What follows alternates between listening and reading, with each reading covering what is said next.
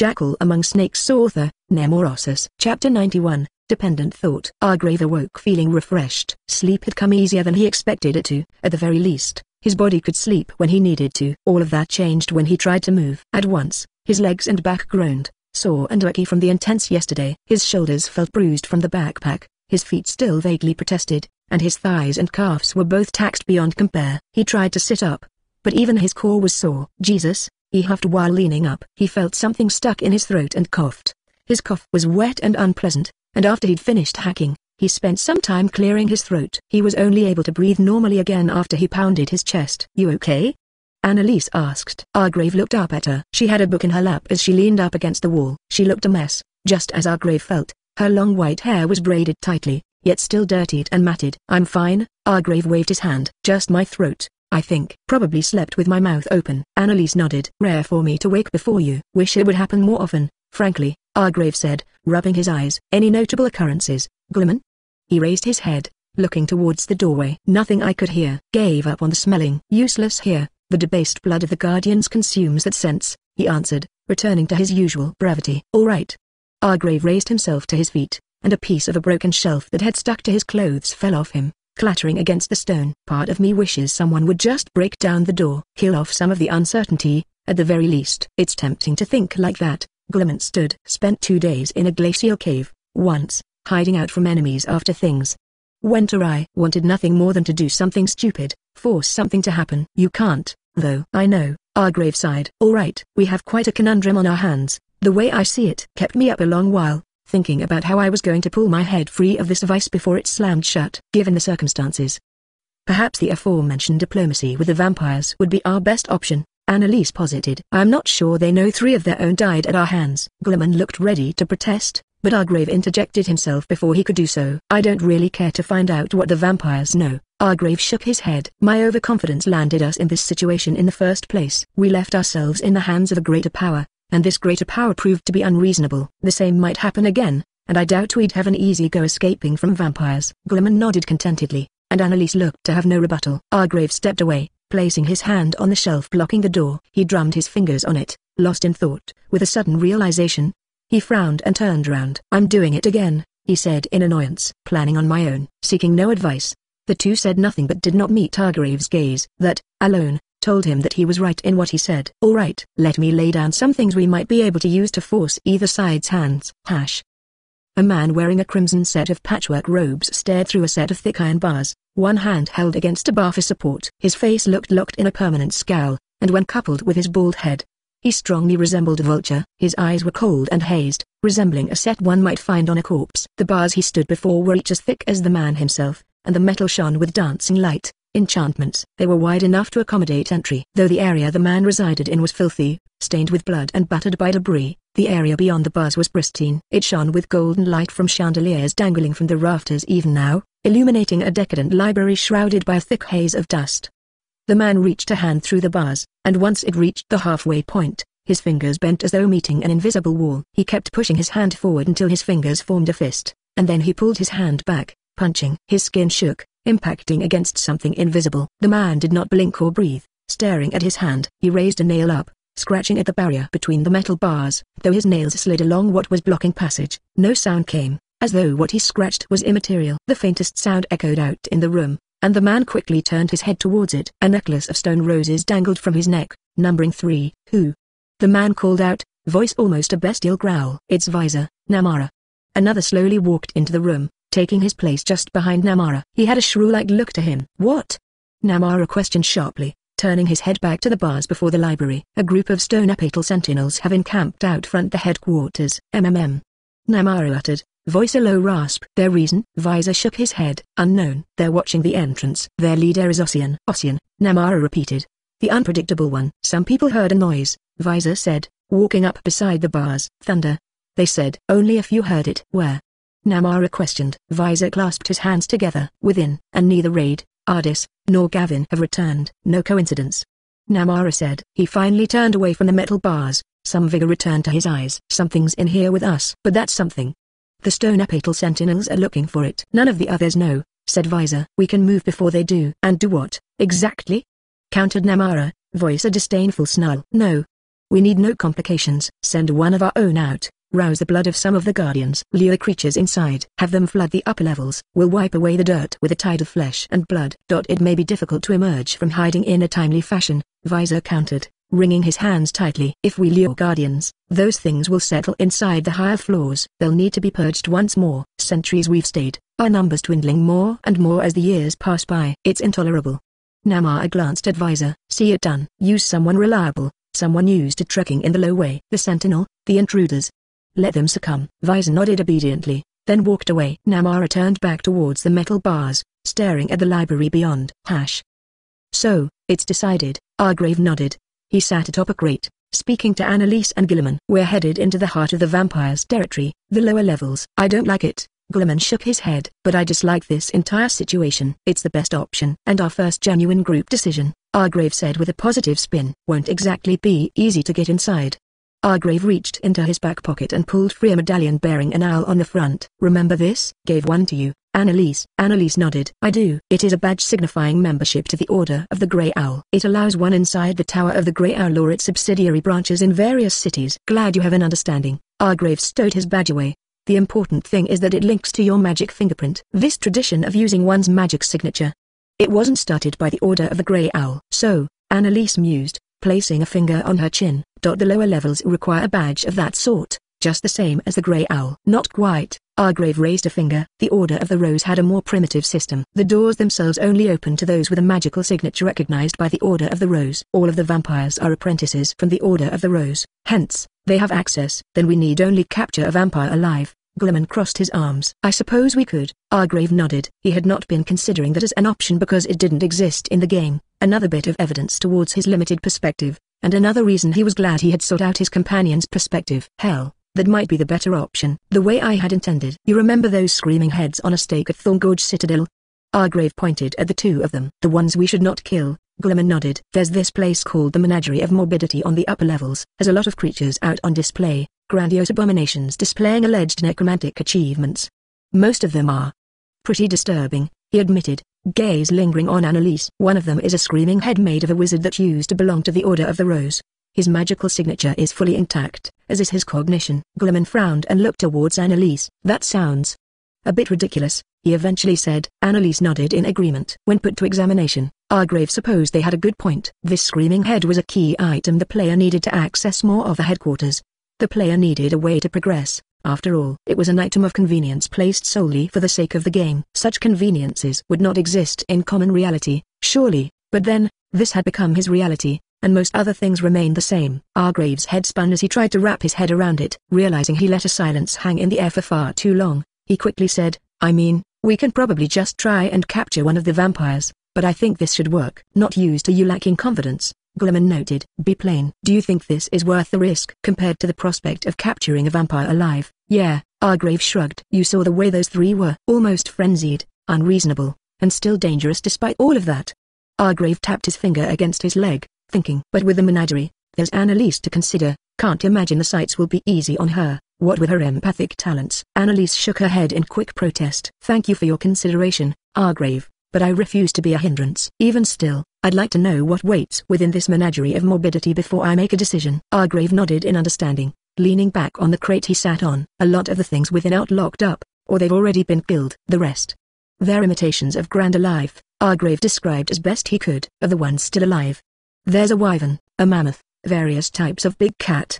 Argrave tried counting, but he realized the list was growing quite long and waved his hand.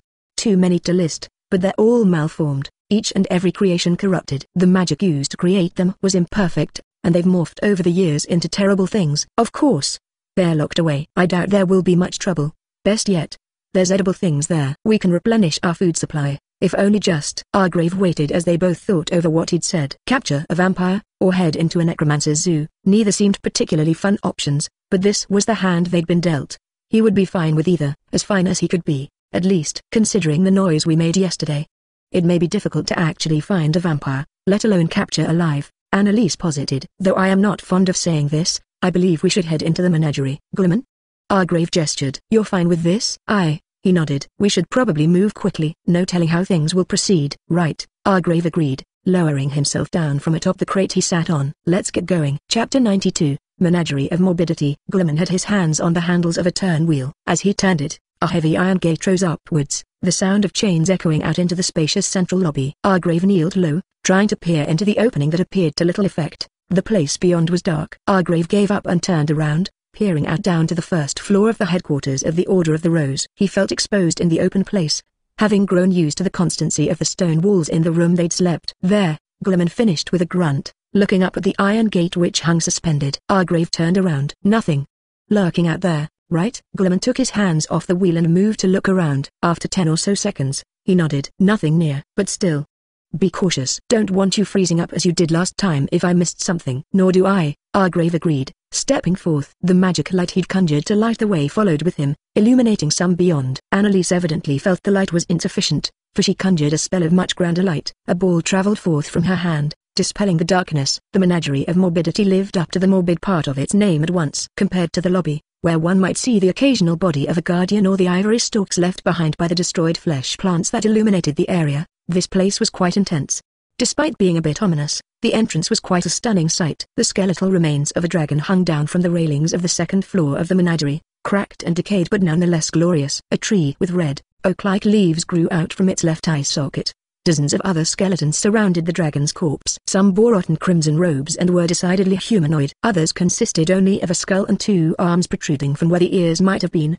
The remains of some guardians of the Low Way. The place was wrecked far more so than the other areas of the Low Way. The tile was cracked, both from battle and from growth. Moss covered most of the floor beyond the entrance, ranging in color from purple to blue to red. Trees with red leaves filled up much of the place, at times so dense it was difficult to tell they were inside a building. Their roots disturbed the stone, making the path uneven and awkward. Some of them had white berries growing from their branches. The fruits had rings on the bottom, making them look a bit like eyes from a distance. This is why I didn't eat, Argrave said, stepping up slowly and pulling a berry from a tree. He put it in his mouth and chewed. He hadn't been sure what to expect, but it actually tasted quite pleasant. Then again, after the day he'd had yesterday, anything would likely taste pleasant. Are you sure that? Annalise trailed off when Argrave swallowed. Pretty good, actually. Kind of like grapefruit, I guess, but less tangy. Argrave pulled a few more off. Annalise watched with obvious concern. I do not know what grapefruit is. When Argrave swallowed another, she quickly said, maybe you should not eat so many. It's safe. Don't worry, Argrave assured. Argrave held his hands out, the white fruits balanced atop his bony palm. Try some. Every bit helps. Besides, we don't want to cut into our rations too deeply. I.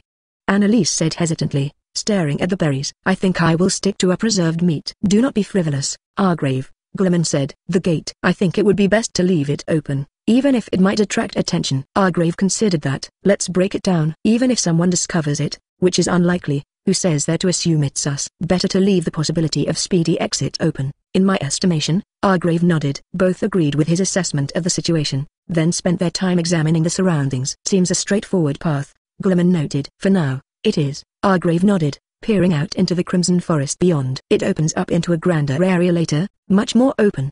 Do you have an idea why there are so many of the Guardians of the Low Way dead here? Annalise questioned, noticing the abundance of their corpses laying about. Because the Guardians and the things within the menagerie aren't exactly allies. Argrave pushed one with his toe. This place, uncomfortably crowded, a lot of places to hide. Argrave looked ahead. We should probably be more cautious than normal. Galamon stepped ahead without a word, proceeding in silence. Argrave followed just after him, and Annalise took the rear. This place was much more difficult to traverse than even Nordred. The growth of moss and plants made the strain of walking less on the back and feet, but the uneven terrain made watching one step paramount. Twisting an ankle would be less terrible than on Earth because of the presence of healing magic, but Argrave still did not wish to use magic for something that was ostensibly easily avoidable.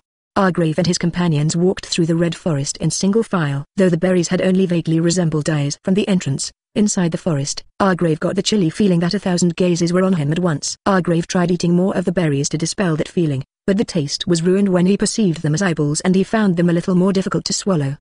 They passed by many stone cells with the corpses of creatures within. It was difficult to perceive what exactly they were.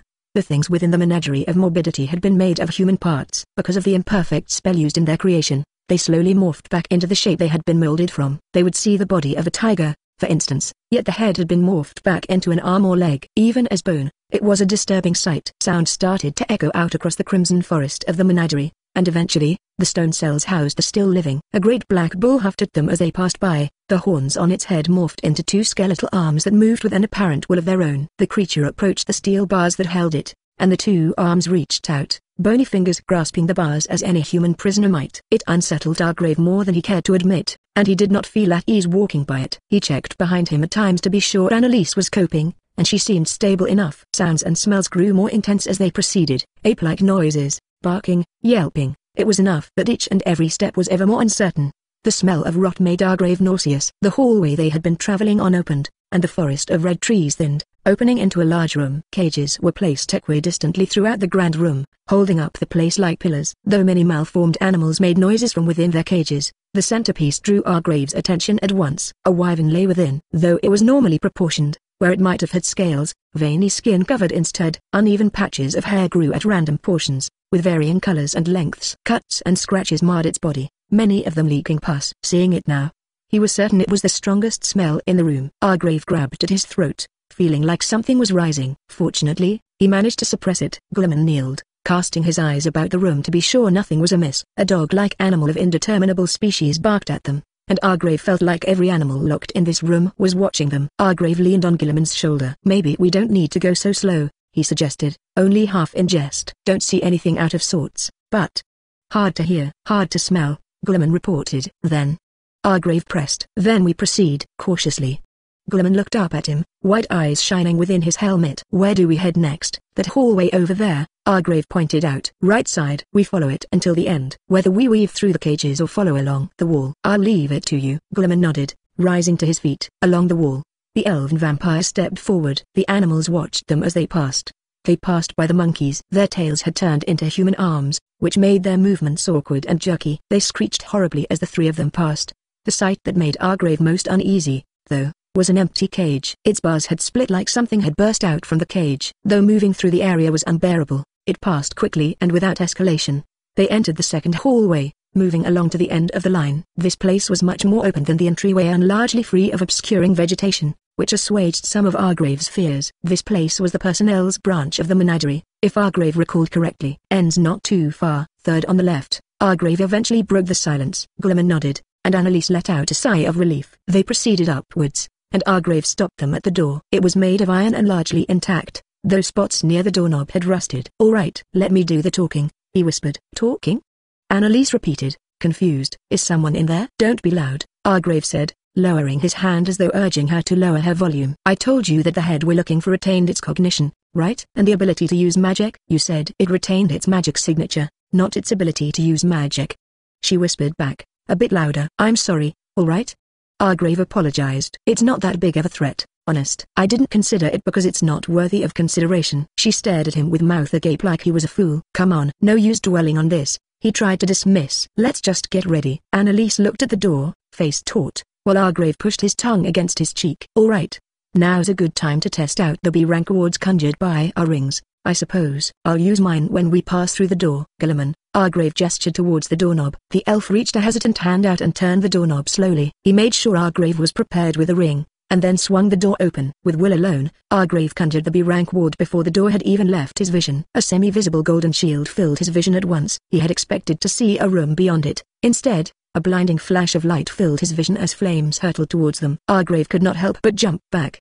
The golden B-rank ward stayed strong, though, and the flames hurtled upwards. The fire battered against the ceiling, floor, and walls. They continued for a great length of time, and then slowly began to diminish. Once they had faded, what was left beyond was a scorched mess of a room. At the center of it, untouched by anything, stood a stake. This stake had a head atop it. You bastards had a trick, I see, the head said. Nice to meet you, Argrave said, stepping forth through his ward despite the earlier display of power. He remained ready to jump back at a moment's notice. We got off on the wrong foot, I think, but we have much to discuss. The head squinted. Chapter 93 heads and tails. The severed head stared at them warily from its position atop a stake. Despite the utterly destroyed room around it, where every wall had been scorched black from fire and other spells, both the stake and the head were unblemished. They were shielded by a sheening ward that Argrave knew was relatively low-ranking. The head itself had quite an ordinary appearance. Once one looked past the disembodied part, it seemed young, with mostly smooth white skin and short brown hair.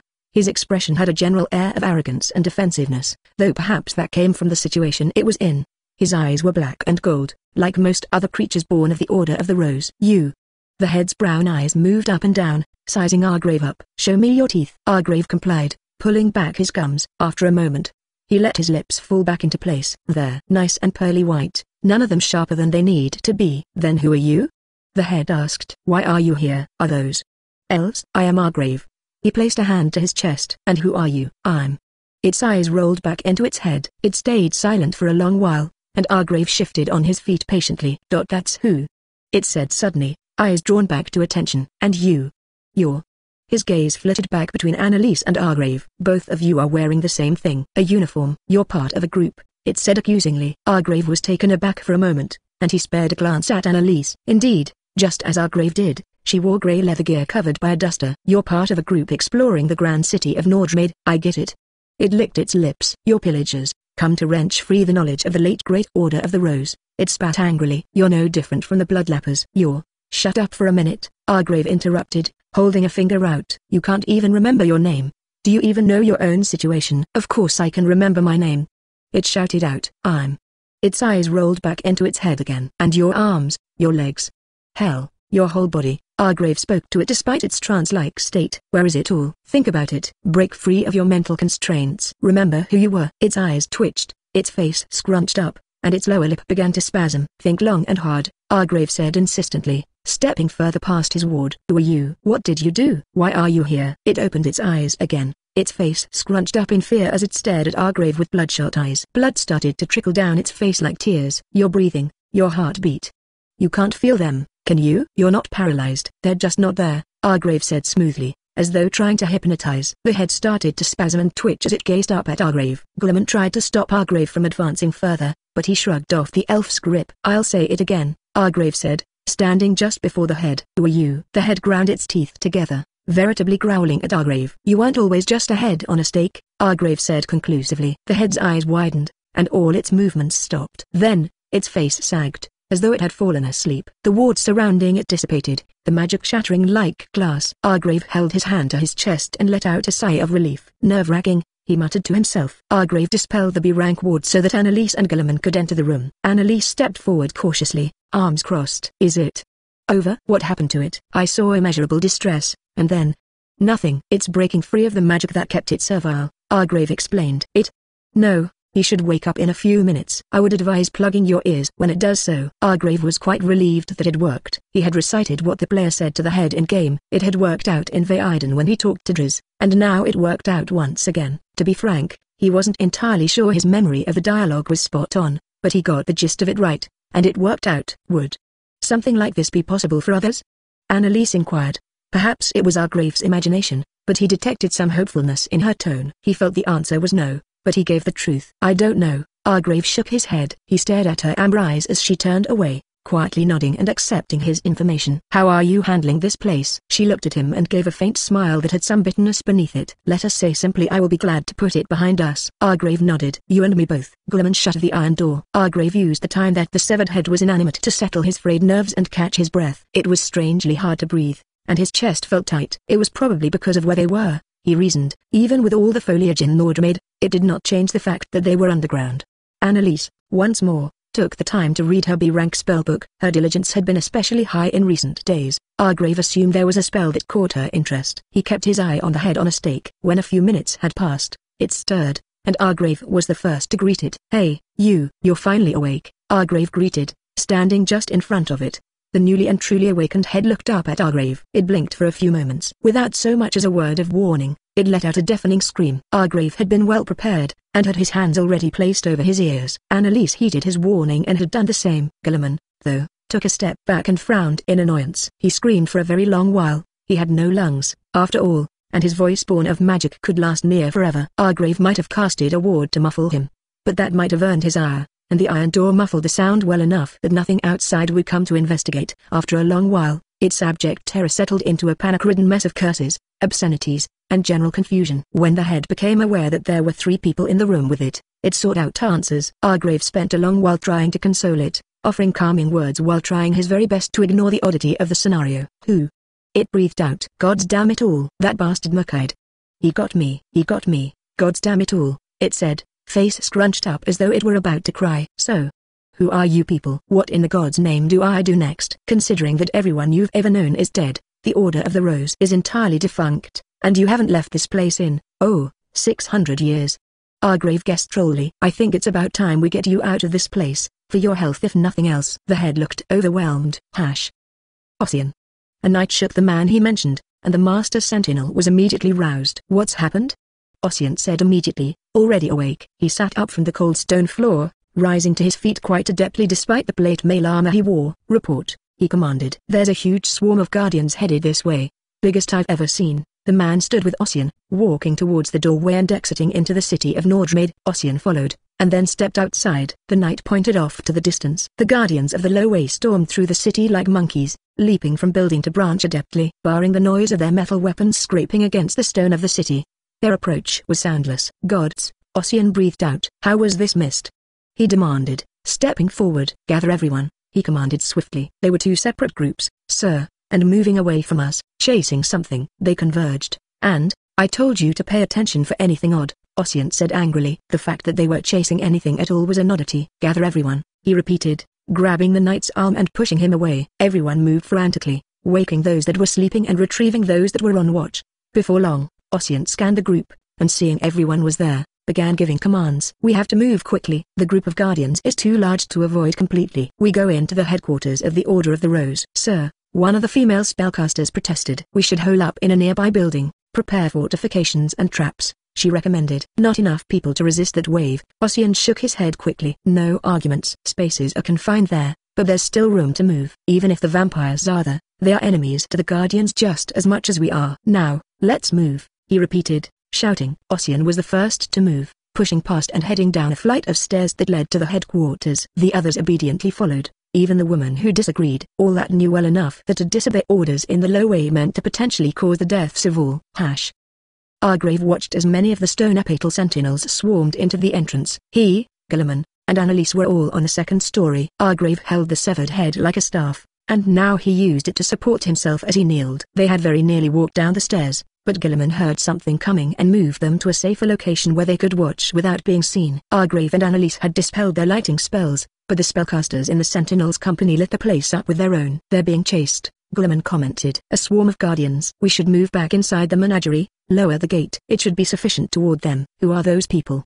The head atop the stake in Argrave's grip asked. Friends of yours? No, they, Argrave cut himself off. I suppose they could be. You are not thinking of? Annalise looked at Argrave. I am thinking of it. Argrave nodded. I find people are much more amenable to suggestion when they're in a desperate situation. We can help them, lead them into the menagerie. We win them to our side. Everything goes back to the way it should have. He looked back at Galamon and Annalise. Thoughts? Their leader. The one called Ossian, if I remember right. Galamon contributed as he watched. Don't remember much hostility from him. They might grow suspicious, considering how fortunate this timing is for us, Annalise reasoned. And, once more, we surrender ourselves before power. Good points, both, Argrave nodded. At 20, just about, I think I can take them if I use Earl of power. But I wanted to save that. Won't be able to use the blessing of supersession for the rest of this venture if I do. He sighed. I'm leaning towards helping them. But I won't do it unless you two give me the okay. Learned my lesson, I think. Gods. The headquarters of the Order of the Rose. Reduced to this, the head mused, looking about the ruined building. Annalise and Galamon both glanced at the head, then back at Argrave. Galamon was the first to nod. Help against the vampires will be important, even with Erlebnis at your back. This scenario is different from what occurred in their camp. Annalise nodded, agreeing. Alright, Argrave took a deep breath. Guess I get a chance to salvage things. He handed the stake over to Annalise. Probably best if they don't see me holding a head, he reasoned, rising to his feet. Wish me luck, he said, about to move to the balcony. Good luck, said the head. He was the only one who did so. Chapter 94, butting heads. Ossian stood at the doorway of the headquarters of the Order of the Rose, siphoning the last few members of his band inside the cold stone halls. He did not feel at ease being here, but the sight of the guardians of the Lowway moving through the ruined city of Nordrmaid made what little unease he had about the place negligible. Their escape had been speedy, so they had plenty of time before the abominations reached them. Ossian. He heard a voice echo out across the stone halls, and his head turned quickly thinking it was one of the people in his party. Ossian's misunderstanding was quickly corrected, though. Their very purpose for being here, Argrave of Blackguard, leaned out on the railings of the second floor, his face grimly illuminated from beneath by spell light from Ossian's group of spellcasters. How in hell did you manage to get that many guardians on your tail? Argrave questioned. Ossian stepped away from the doorway, wading through the crowd until he stood at the front of his group. He did not know what to say. He had not expected to meet Argrave in this manner, let alone at all. Guess it's not important. Listen, you probably came here for shelter, Argrave reasoned. I know of a place big enough and secure enough that even that horde outside won't be able to bother us. Despite all that's transpired between us, I can take you there. Where are your two menials? Ossian looked about. Menials? Argrave repeated, confused. I don't know what. Oh, he came to a realization. My companions are nearby. Ossian watched the man's eyes, trying to see if they would betray their location, but Argrave's gaze remained fixed ahead. There's no ambush, if that's what you're worried about. I should trust you. You killed one of our own. Ossian shouted out. You marked yourself an enemy to the stone apatal sentinels. Argrave lowered his gaze. I, I never wanted that to happen. We were just trying to enter the low way. Things were panicked, chaotic. You gathered men to attack me in my sleep, without any provocation whatsoever. He accused. Not attack. To confine you. Ossian shook his head, but did not rebut further. He had been against the idea from the beginning.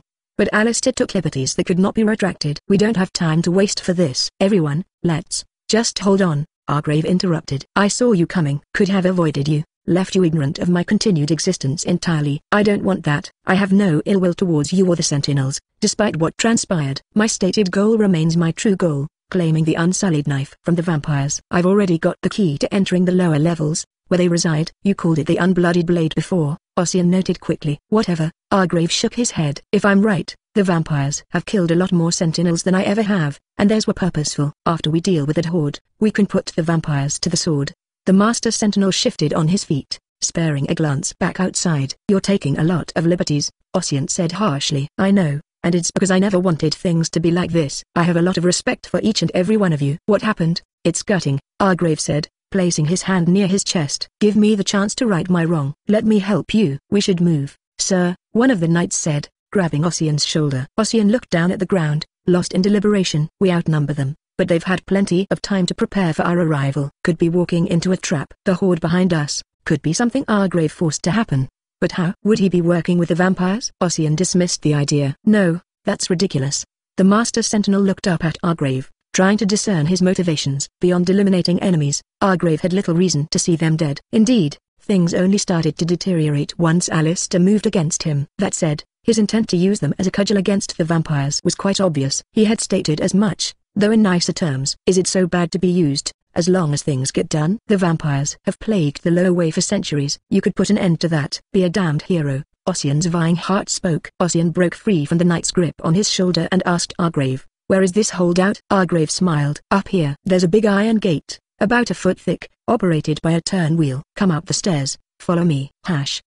Galamon lowered the large gate to the menagerie of morbidity, and it let out a loud sound when it met the stone, dust jumping up into the air. The party of stone apatal sentinels kept a cautious distance from Argrave's group. The hostility was all but tangible between them. This place is largely safe. I can't be sure there aren't some creatures roaming about within. This place is a menagerie. After all, Argrave said, paying little attention to the tense atmosphere. But that iron door right there can surely hold back any guardians. Even if they're smart enough to try the turn wheel, it's an easy enough task to keep the gate from moving. So these are my descendants? The head, still on its stake, spoke from Annalise's hands. What do they call themselves? Ossian looked at Annalise, who held the head. The stone apatal sentinels. Annalise answered. Oh, that's rich, the head said amusedly. I remember them. They were the border guard for the northern part of the low way, considering it was Vasquer territory and safe as a chick in a coop. It was where they send the rejects and useless ones. Ossian's head turned back to Argrave, some of his men bristling behind him. What is that thing? Why is it alive? It's not alive, technically, Argrave said. It's, I am Garm, youngest ever High Wizard of the Order of the Rose. He introduced himself loudly. Now, I am a head on a wooden stake. Argrave nodded, stepping up to Annalise. Adapting awfully quickly, I see. I have to, Garm said, raising his eyes to look at Argrave. Considering how long I was in there, your coming is the only opportunity I might get to escape this place. I have to be adaptable. Can't exactly walk, in case you haven't noticed. Can't even point a hand to emphasize that. Argrave pursed his lips, thinking. Garm. He set his hand on Garm's brown hair, turning back to Ossian is key into the lower levels of the headquarters, and in turn, where all of the vampires reside. He can get us into the inner levels of the headquarters, where actual members of the Order of the Rose reside. Garm looked very annoyed at Argrave's touch but could not exactly shake his hand off. All of the sentinels stood near the iron gate, facing Argrave and the three of them. Recognizing the rising tension, Argrave took his hand off Garm and faced them. They were greatly outnumbered, but Argrave did not feel fear. Even still, He kept the B-rank warding enchantment in his ring at the ready and kept the spellcasters in his vision. Tell me, Argrave stepped forward. Which way is the wind going to blow? Even if you've agreed to come here, now that we're standing in front of each other, a lot of things must be running through your head. You tell me, mind reader. Ossian crossed his arms. Argrave nodded at the jab, thinking his next words very carefully. What's transpired between us? I can say I never wanted it to happen, that I have nothing but respect for you. And you might believe me, might not, Argrave reasoned. But I can say for sure that neither of us really want to fight right now. Coming to swords in a place like the Low Way. It's one of the Stone Epatal Sentinel's least favorite things, if I know your group well enough. Why? Ossian said nothing, so Argrave continued. It's because down here, the true enemy, the enemy to us all, is the Low Way itself. Argrave pointed to the floor. Disunity ends in death. A group divided is easy prey to a predator. You aren't part of our unit, a female spellcaster said. You are the enemy. Can nothing be put to bed? Had I not done what I did, I'd be dead or worse yet, bound in chains while your people did. Argrave threw up his hands. I don't know what you'd have done. I can say for certain I probably wouldn't have liked it. You were suspicious, Ossian said back. You knew too much about things. You travel with elves. That excuses things? Argrave questioned. Wasn't my call, Ossian retorted back. Alistair did it, without seeking approval from the other Master Sentinels. I didn't bring you here to cast blame, to point fingers. The whole situation was just an unfortunate tragedy, and one I'd prefer never happened. But you're here now. I didn't set a trap. I let you into this place that was food for weeks, a place that's completely safe from the guardians outside. Lot of big risks on my part. We're only three, Argrave waved between everyone in his group. I'm not a person, you see, Garm added. I don't count. He's not, Argrave agreed, deflating the head sarcasm. I won't act like I came here for some sightseeing or another such benign reason. I have a purpose. You know that purpose. The unsullied knife. That said, we can help each other. Ossian stared up at Argrave unblinking. Eventually, he turned his head away. I have to confer with my people. Give me some time. Sure, Argrave agreed, though he did not feel entirely comfortable doing so. Persuading Ossian would be much simpler than winning the entire group over to his side, and he wasn't certain things would go in his favor after their conference. Annalise, Galamon, and Argrave put some distance between them and the group of stone epatal sentinels. Once they were far enough away not to be overheard, Argrave spoke. Garm, Argrave said. You said you were a high wizard once right? Indeed. Youngest in history. Promising future, he said. Jealousy put an end to that. A tragic tale of woe. Dating, Argrave interrupted. Can you discern how much magic their spellcasters have? Garm didn't miss a beat in answering. They have one B rank, at best. The rest are all nothing. Argrave looked down at Garm. Nothing to you might be something to me.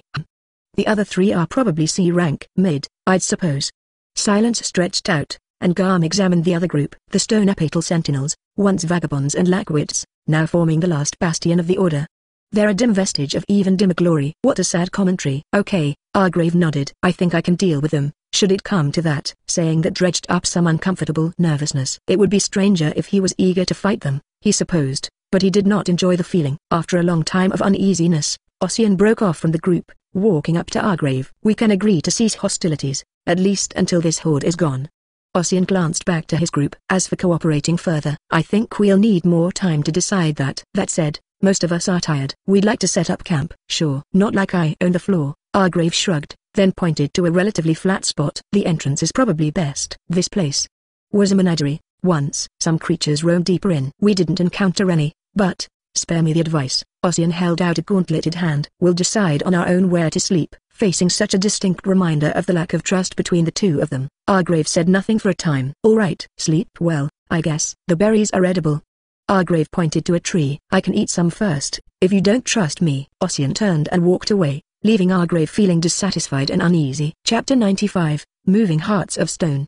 The first day of cohabitation with the stone Epatal sentinels proved to be tense. The horde of guardians of the Low Way reached the great iron door. Eventually, the sounds of their bodies and metal weapons bumping up against the gate and testing it echoed throughout the menagerie, adding to the grimness of the place a great deal. Galamon had wedged a large rock beneath the turn wheel, preventing it from turning to allow entry. Even still, the creatures tested it, obviously aware that it was the mechanism to open the door. That alone was terrifying enough. Argrave had wished to spend the time endearing some of the sentinels to himself, but that proved a difficult task. The sentinels were very clearly wary of him and his companions, and that alone established a strong obstacle in obtaining something important in conversation, naturalness. If he approached them in the heart of their camp and flattered them or otherwise tried to sway them, his intent would be obvious and the opposite effect would be achieved. Argrave believed that though people might say they don't like brown noses, that isn't necessarily true, they just don't like overt, shameless flattery, especially when the intent behind it is obviously selfish. Bearing that in mind, Argrave gave the stone apatal sentinels and Ossian ample space. He could not deny the powerlessness he felt in this situation was extremely nerve-wracking, but he was confident in his assessment that any attempt to persuade them might be an active detriment. Argrave and his companions were outsiders and murderers, in their eyes, he did not wish to mark himself as two-faced to boot. Even still, Argrave tapped his boot against the ground rapidly, sitting at attention on a large root of a crimson leaf tree. Hate sitting around like this. Annalise lifted her head from her book at Argrave's words. We're wasting time sitting about for some people that might be our enemies. What a terrible situation. MMM, yes, Garm agreed, standing upright on his stake jammed in the ground a fair distance away. At least you have the luxury of standing, of sitting, even. I can do neither. I just have to wait for someone to pick me up carry me about, like some kind of man-baby. An intelligent mind trapped in a useless husk. Perhaps you will grow to be ambulatory, too, like a baby, Argrave said as he caressed his forehead to dispel a headache. Just don't like being on others' time. The sentinels are weary. Even if they intended to support us, they would need to rest today. They experienced the same journey we endured, and some of them spent the night on watch. Annalise turned her gaze towards their camp. Today? Argrave repeated that word. I don't know if it's night or day. I certainly can't sleep, not with all these people nearby. And that banging, Argrave gestured towards the door. Nothing can ever go smoothly, can it? The vampires are as trapped as we are. The Guardians are enemies to all, not just us. It would not surprise me if the vampires orchestrated this, in some attempt to clear their hunting grounds of enemies, Annalise outlined. Her calmness returned in the relative quietude and safety of the menagerie. You're right, Argrave shrugged and shook his head. He felt something in his chest and coughed harshly, spitting out an unpleasant glob of what looked to be snot off to the side. Argrave grimaced and turned away quickly, but then froze. They are trapped, Argrave said out loud, looking to Annalise. Locked tight. They fight with the Guardians, just as we do, he said slowly, as if in revelation. What are you thinking? asked Annalise, shutting her book. I'm thinking. I have an excuse to talk to Ossian. Argrave stood. And I think I have a way to turn this curse outside our door into a blessing. And it may just be the defining point I need to win the sentinels over to my side. Allow me to explain. Argrave beckoned Galamon and Annalise closer. Hash. You wanted to speak to me? said Ossian, his hands held on his hips. He was not alone, but he was present, and that was enough for him. To be fair, Argrave was not alone, either. Annalise and Galamon were just behind him, the former holding Garm. Argrave might have left Garm back at their camp, but he didn't trust one of the sentinels wouldn't meddle with him as he rested there. Though the severed head wasn't defenseless, it was better safe than sorry. I did, said Argrave. Some of his confident spark returned to his voice. For the first time in a while, he felt that things were going right. So?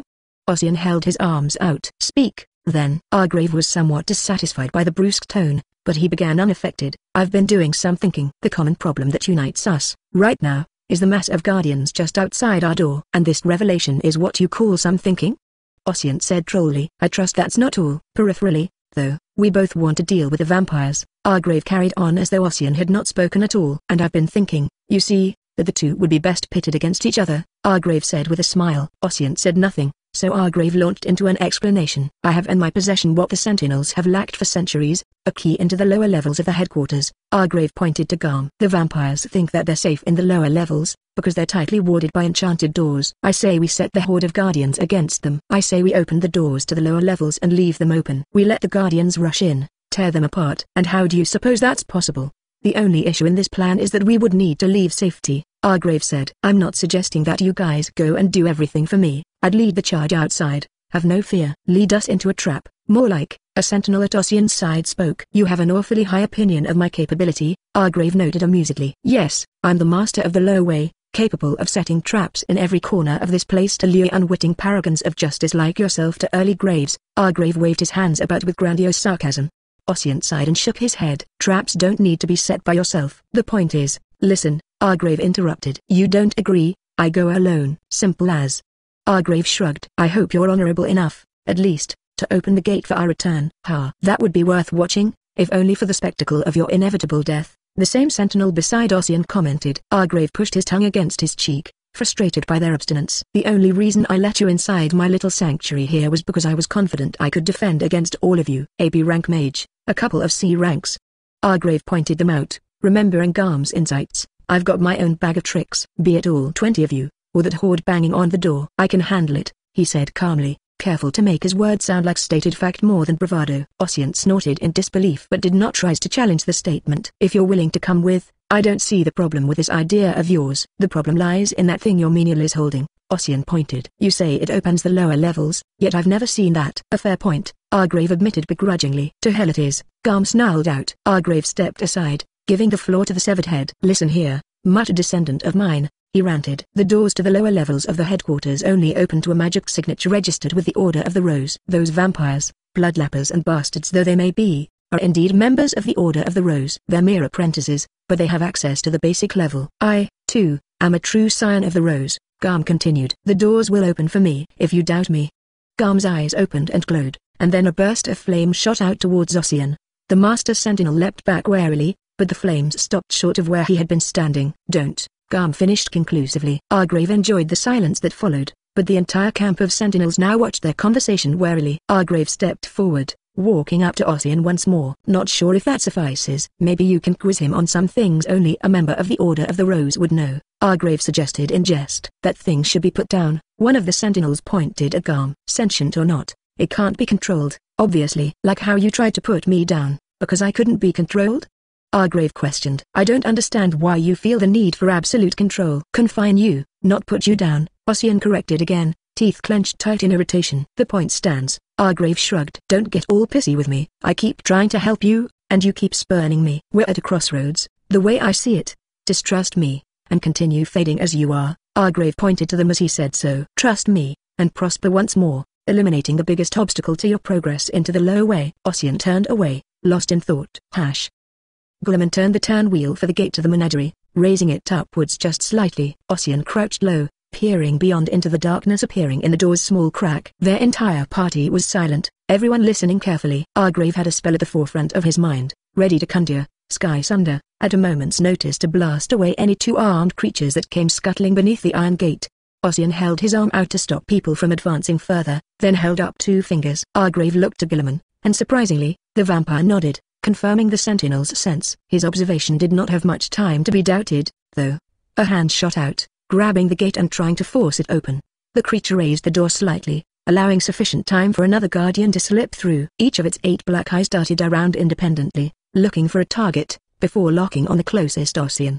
The master sentinel stepped back, drawing his sword as he rose to his feet in one fluent motion. Argrave elected not to cast, considering the sheer bulk of people nearby who could do the task without magic. The creature swung its arm, and a flail attached to its hand whistled through the air. Ossian nimbly dodged with a backstep, then placed his foot on the flail's chain once it impacted with the ground. Another sentinel stepped forward, stabbing the creature with a short spear. It grabbed at the spear for a moment before sagging limp with a soundless death. The hand holding the gate struggled to win against Galamon, who held the turn wheel patiently and kept the door suspended. Ossian crouched and kicked the creature holding the door, then stood. Argrave heard the creature's hands slapping against the ground as it fled. Ossian waited for a time, then said to Galamon, We can open it all the way. We waited for their numbers near the door to thin, and we were right to do so. None are near. After Argrave nodded to confirm Ossian's order, Galamon raised the gate up. Right. Down the stairs, through the central hallway, then down the stairs to the right, Argrave outlined aloud, mostly for himself. You've said that plenty, Garm noted from Annalise's hand. She held the head like a staff,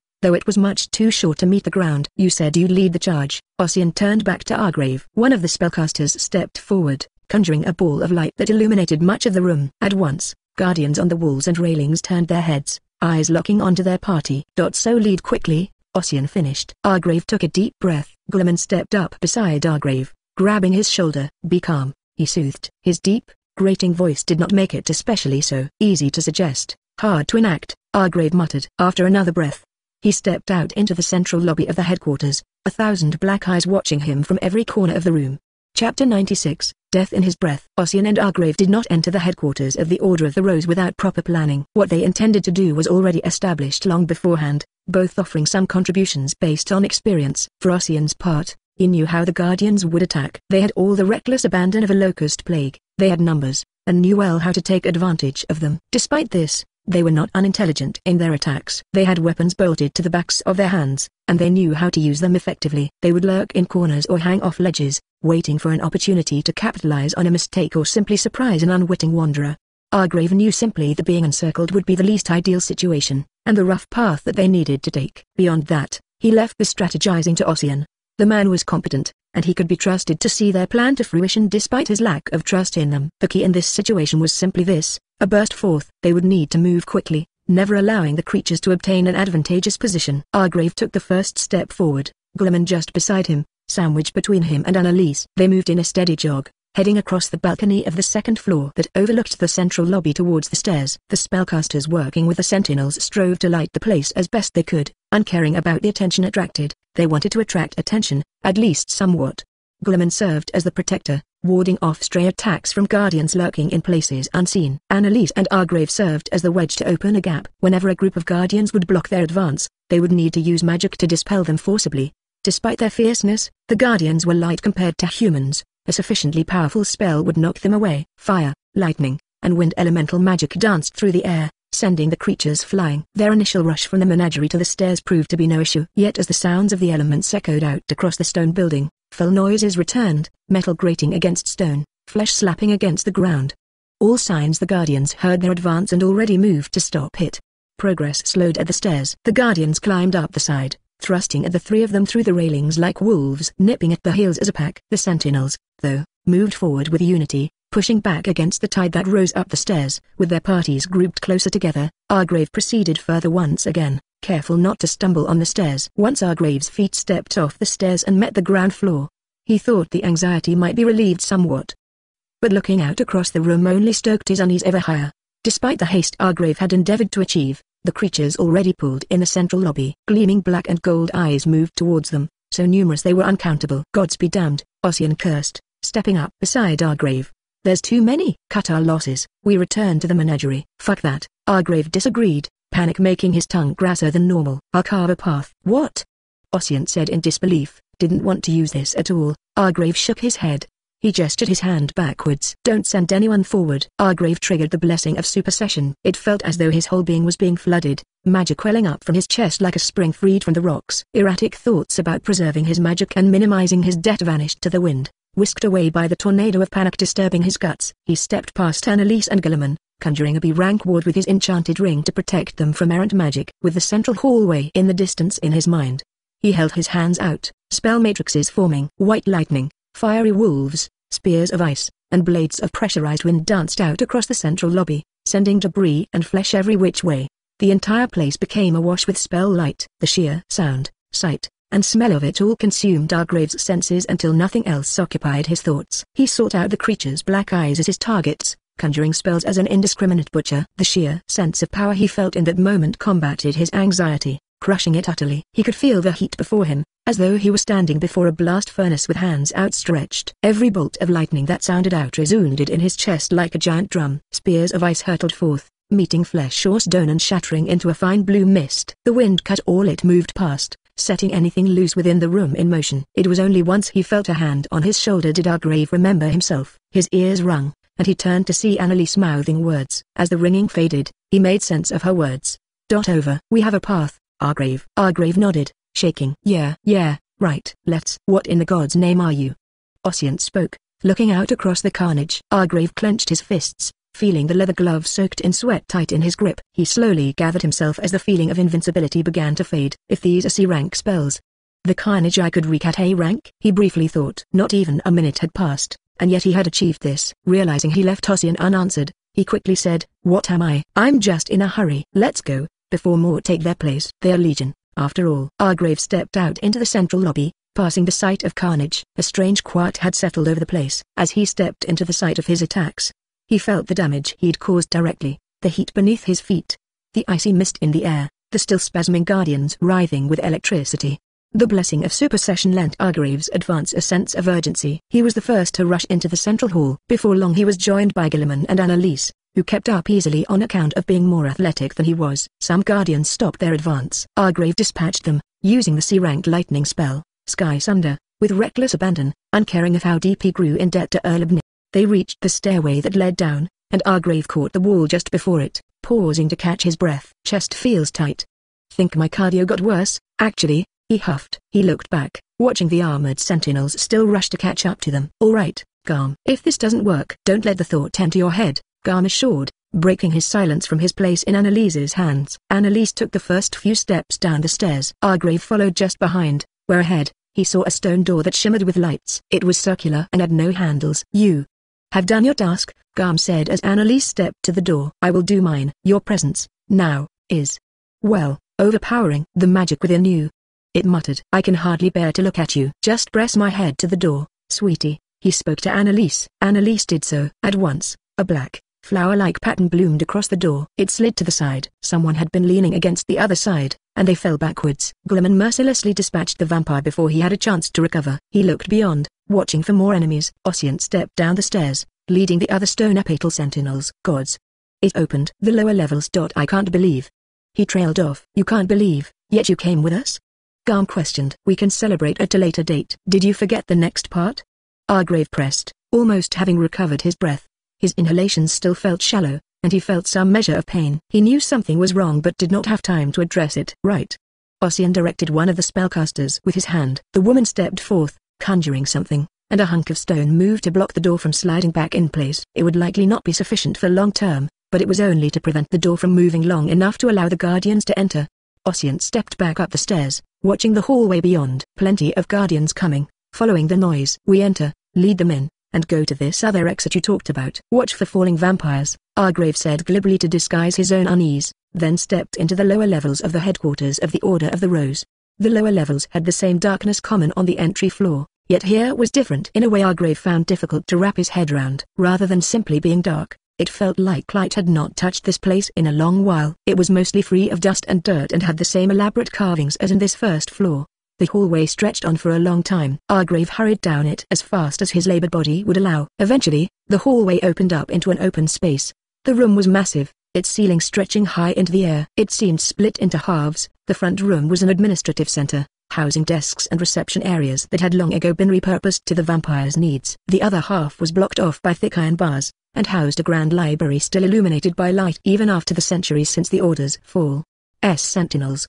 A shout echoed out across the room, abject terror in the voice unbefitting the vampire which it came from. Go left, ward off attacks, once the Guardians get in, they'll screen our escape, more or less, Argrave said to Ossian. Despite his position as the master sentinel of the group, he did not object to Argrave's directive, nodding in quiet agreement. They went left. The vampire's home soon became a veritable hive of activity as the things moved to tackle the situation. Shouts similar to the one that first echoed out filled the place as people adapted to the unforeseen occurrence. Though some vampires tried to stop them from proceeding or generally assault them, the attacks were easily enough repelled. Argrave dared a glance backwards once they were sufficiently far from where they'd first entered. He saw the first of the Guardians enter the lower levels. True to Argrave's prediction, they started to flood in great numbers, quickly emerging from the hallway. The vampires that had moved to deal with the Sentinels and Argrave's party were quickly confronted by a wave of Guardians. Argrave whipped his head back ahead, laughing slightly.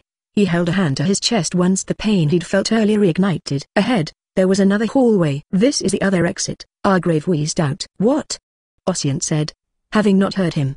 The exit's the, Galamon finished for Argrave. Some joy seeped into Ossian's tone as he said, Gods.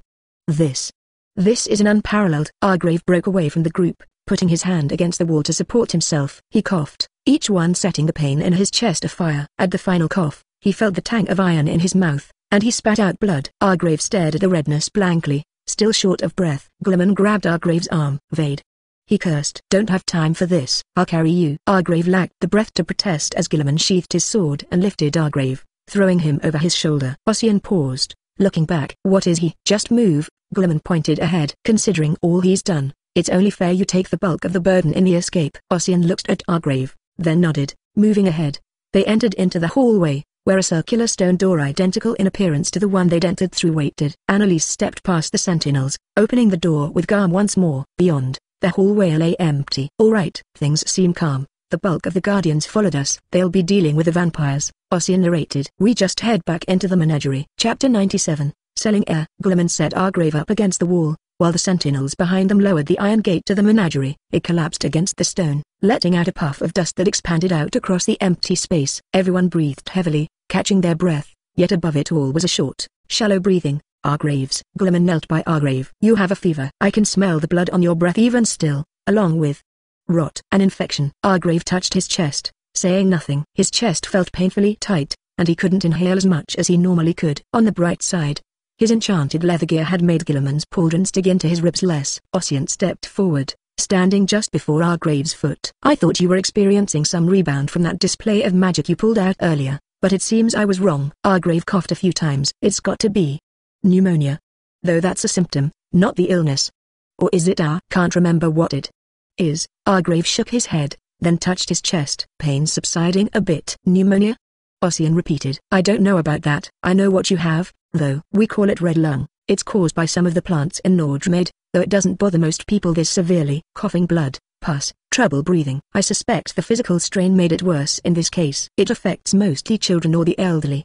Ossian fixed some of his matted dark hair, having recently removed his helmet. This case. It's quite severe, probably fatal. Do you know how to treat it? Asked Annalise, urgency evident in her tone. Garm stayed silent in her hands. Ossian nodded. The B-rank healing spell, cure disease, suffices. And you have a B-rank mage. Annalise pointed at the woman in question. If this is so common an issue, surely she knows the spell. She does, Ossian confirmed with a nod. He placed his hands on his hip, moving his sword further back on his belt. None made any moves, standing around Argrave in silence. Annalise pointed to the woman once more and said, So, why are we letting him stay like this? Please, treat him. Ossian pursed his lips and stepped away from Argrave. I can have him treated. But I have some conditions. He turned his head back. Argrave lifted his head up. Oh, yeah? He asked. Some vigor returned to him. Go on, then. You would have to surrender that thing, Ossian pointed to Garm. And moreover, you would have to submit yourself to the Stonepetal sentinels for judgment. We would give you safe passage back to the surface. And use your deeds in revealing the vampire's location to us in this judgment, he said enthusiastically, as though lightening the blow of his words by pointing to a bright side. We would keep you under house arrest, I suppose, not a prisoner, but a detainee. Thereafter, the three of you would be presided over by a council of all the Master Sentinels. Argrave started to laugh. It broke off into a wet cough. After, he looked up grinning. Blood on his teeth. Can hear the gratitude in your voice. Real heartwarming. I would speak for you. I'm sure most of the other people here with me today would, as well. Ossian waved around, and his words were met with some nods. They didn't seem overly enthusiastic, though. In the Sentinels, though, there are rules and orders that have to be followed. Even by me. I can't simply give you favors for the sake of them. You're a bastard.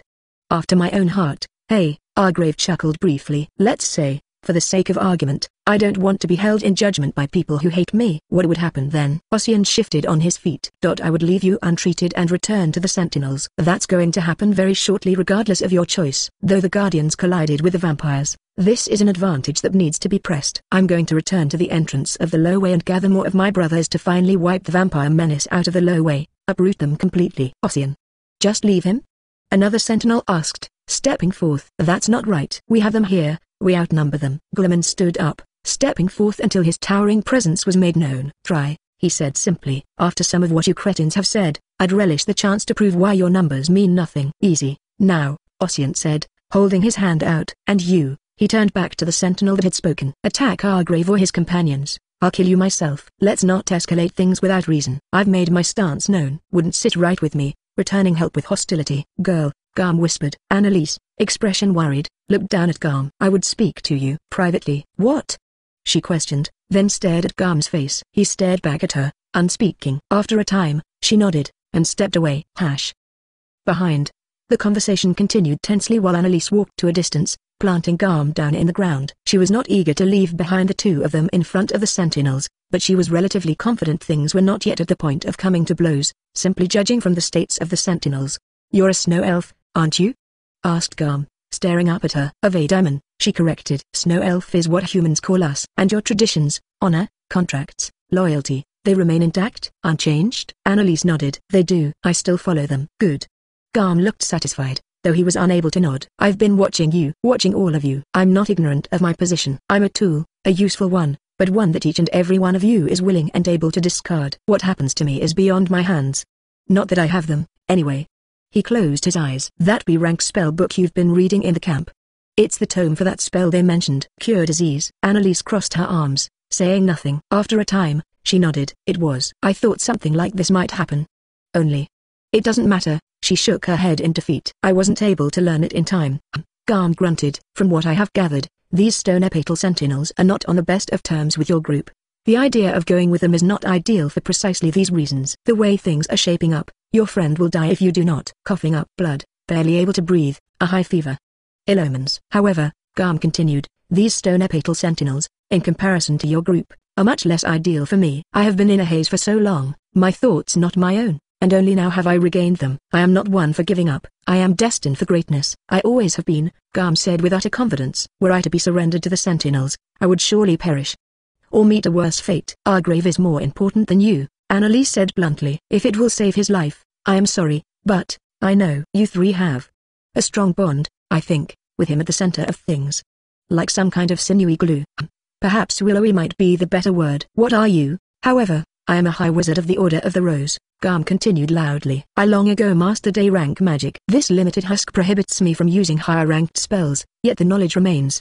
Garm gazed up at Annalise. I can help you learn this B-rank spell. I know it. I've used it. I might even use it on Argrave, had I the capability. Alas, I am but a head on a stake, and my capabilities are minuscule in comparison to what they used to be. Annalise took a deep breath and looked back towards the group. I understand where this is going. You mentioned contracts, loyalty, at the beginning of this. What would you expect in return? She looked at him. Your freedom, your safety. I can't have freedom. Look at me. Garm's eyes rolled about in his head. But yes, you are right. I want you to ensure my life. I want you to take me with you out of this hellish place and ensure my continued existence. I was great, once. I will be great, again. I need only the opportunity. Annalise looked down at Garm. You merely want to travel with me? I will ask for no more than my continued protection. I am in the position of weakness now. I have no delusions about this. Garm shut his eyes. But as long as I continue to stay alive, there will be an opportunity, especially so with people as intrepid, shall we say, as you three. There will come a time when you need my knowledge once more. And then, we will strike another deal. Annalise took a step away, lost in thought. Garm waited patiently, staring up at her. She turned her head back. I cannot decide this alone, you realize. This is Argrave's life we speak of. I cannot be its arbiter. He must decide whether or not to risk things. Yet you are amenable to the idea. Garm raised a brow. I am. She nodded. I am at the cusp of advancement, I am sure of it. If your help is as good as you say, I believe I can overcome the barrier to reach B rank. But as I said, then let us bring my idea to our patient, Garm said. Hash. Go on. Get. Argrave pointed to the gate. As soon as Annalise had pitched the idea to Argrave, he was more than willing to give the sentinels the boot. Annalise was one of the fastest progressing spellcasters in Heroes of Berendar, and he fully trusted her capability to reach B rank, especially with the help of a high wizard. Annalise was more than a little flabbergasted by his total confidence in her abilities. Without treatment. Ossian cautioned.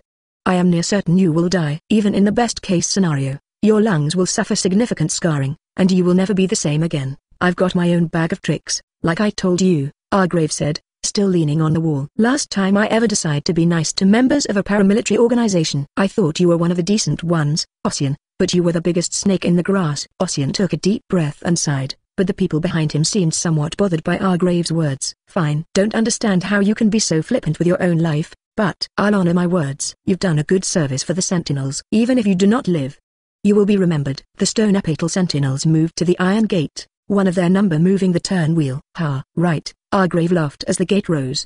They started to move outside, one by one. Ossian was the last to leave. He gave quiet nod to Argrave, and then the iron gate lowered once more. Glimmer walked forth and wedged the rock beneath the turn wheel, ensuring it would not open again. Who? Argrave breathed. Safety. Relatively speaking. You made the right choice, said Garm, stabbed into the ground some distance away. We'll have you on your feet in no time. Argrave clenched his hands tight. Yeah, hope so. Can barely keep my eyes open. This hit me hard. Dot I'll prepare something comfortable, said Galamon, looking around. Right, Argrave said idly, leaning his head against the stone. I'll be waiting. His whole body felt heavy. He felt a haze growing in his brain, and he slowly surrendered to it, drifting into darkness. Chapter 98 no rest for the wicked. Argrave grabbed Annalise's wrist weakly. When I die. You go see Orion. You'll need his help for the jester, he mumbled. After, you should deal with the war, I think. If you like Orion, help him. If you don't, help the rebels. You're a smart cookie. You'll do it fine. All while Argrave was talking, Annalise was repeating his name time and time again. He didn't seem to hear it at all. Just remember to get Eleanor on your side. She's the bat. He continued, slurring. After that, the steps. Go there. The centaurs, and the elves. You've got to deal with the malfeasance. And the dryads. Side with the centaurs. They're better. Cooler. Annalise finally shook Argrave. And his bloodshot eyes came to focus on her, open wide in surprise. Argrave. It is over. You have been treated. You are not dying. He stared for a moment, mouth agape. He smacked his lips together, and his eyes rolled back into his head before coming back to attention. That can't be right. I feel terrible. Just let him be. Garm spoke causing Annalise to turn her head back. That spell drains a lot from the one subject to the disease, he'll probably need to eat and drink a lot before he's back to working order. Even then, his lungs probably have some scarring. Minor, though, and it should heal given time. Annalise lowered him back into the makeshift bed that Galamon had constructed. Argrave spoke, staring at Garm. What are you? A doctor? An anesthesiologist? He spoke the word incredibly slowly, as though he could barely remember it. Once he laid back in his bed, He shifted. Shitty hospital bed. I want to go home. The HO wiki is nothing. Without. Annalise looked up at Galamon. What is he talking about? Doubt anyone could answer that. Galamon crossed his arms and shook his head. He's delirious. Let him be. We should prepare some easily chewable food for him. Crush those berries, dice some of our rationed meat. Annalise leaned away from Argrave, letting out a deep sigh of relief that caused the stress to veritably drain from her face. Her eyes were sunken and bloodshot, with deep dark bags beneath them. I hope you won't forget our deal, sweetie, now that your little friend isn't one toe into the grave. Garm spoke from behind her. Annalise's expression tensed once more, and she looked back to Garm. I will honor that arrangement, and thank you for your tutelage. Don't expect more. Unless I benefit, somehow. Garm smiled. If you think that's selfish, realize you're speaking to someone worse off than a cripple. She turned her head away and nodded, then rose to her feet. Galamon was staring at her. You should rest, he stated. Hard to tell time here, but I estimate you've gone two days without sleep. Your job is done, and now you must come back to form. I will take care of things from here. Nothing will disturb us. But you must be near devoid of blood.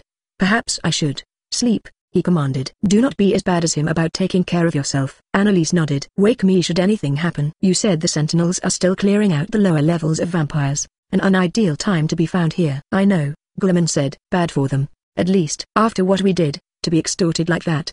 Galamon clenched his fist. His gauntlets creaking against one another. Annalise held a hand out. Please, do not dwell on it. Everything turned out fine. Hash. So. A talking head, huh? Argrave said. His voice was hoarse and speaking still hurt. His mind had gathered somewhat, enough for conversation, at the very least. Most kids bring home a pet, it's something like a dog. Or a cat, maybe, if you're lucky. But Annalise. Ahead, Argrave outlined, then nodded his head as he let the words hang. Annalise let out a few small laughs through her nose. It had taken some days for Argrave to recover enough to speak, and she seemed to be glad he was back to snuff. Galamon was off collecting some of those berries from the trees. Argrave and Annalise sat near the wall, Argrave well supported by a bed of cloth that Galamon had foraged from the menagerie. You're pondering this now? Shot back Garm. Argrave scratched his chin. Didn't really have much room for thought when the idea was pitched. Annalise takes the next step on the path of magic. It got me out of debt to the Sentinels. Good enough for me. Argrave frowned. How are we? Going to bring you anywhere. Not exactly easy luggage. You pass through any city gates, the guards won't know how much to charge for the toll. Three and a quarter? And that's assuming they let us in. The mind makes the man. They charge for four, Garm said bitterly. Yes, very funny. Mock a head on a stake. Do you mock amputees? Cripples?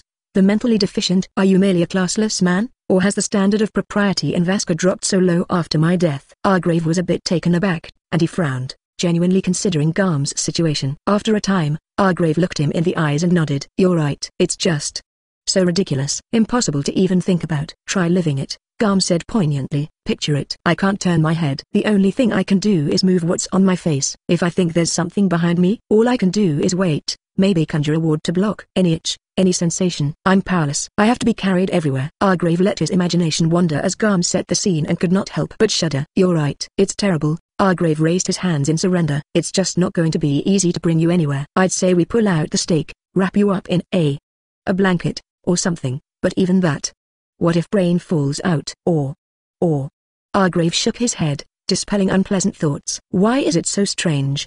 Garm questioned. Are you being serious? Argrave asked, genuinely unsure. Lots of wizards walk about with their necromantic creations. I knew this man.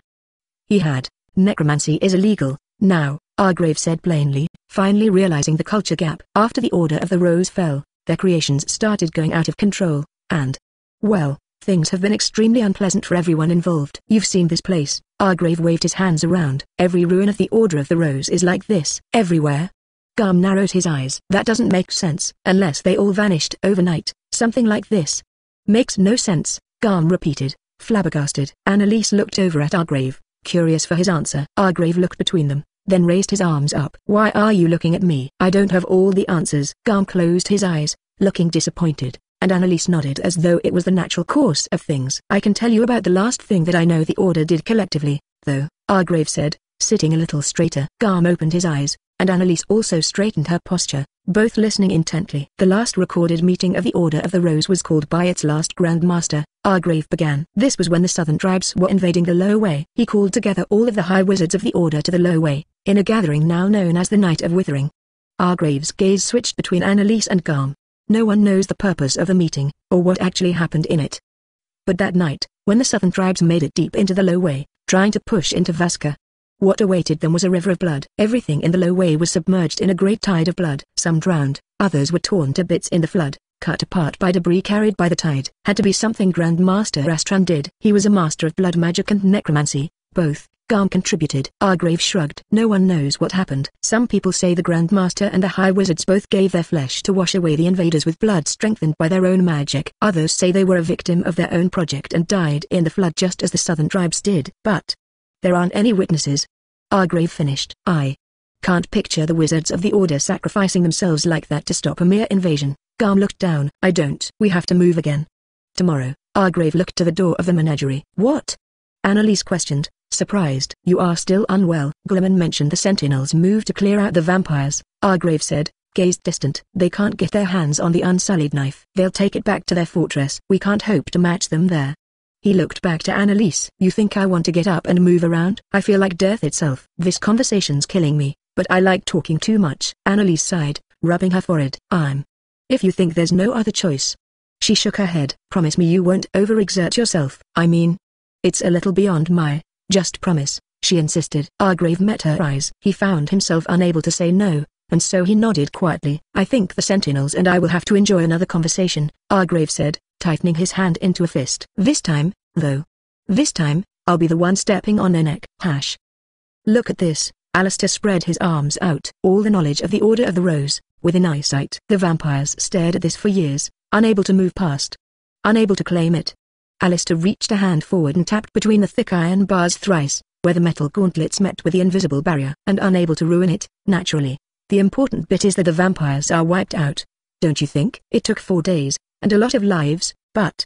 It's finally done, barring two or three that luckily managed to escape, Ossian said, stepping up beside Alistair. This victory is a lot more important than some ancient library we can't touch. And if we could touch it?